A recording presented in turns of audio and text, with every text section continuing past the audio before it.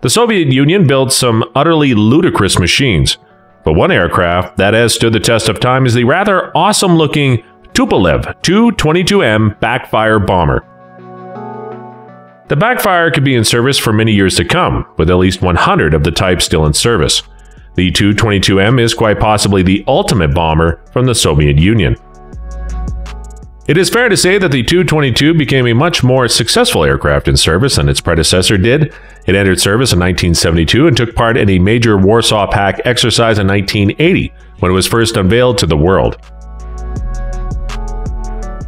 Remarkably, though, Tu-22M remained in service into the days of the post-Soviet Union Russia. It's highly likely that the backfire would have played a crucial role in both the defense of the Soviet Union and in its plans to attack the West as well.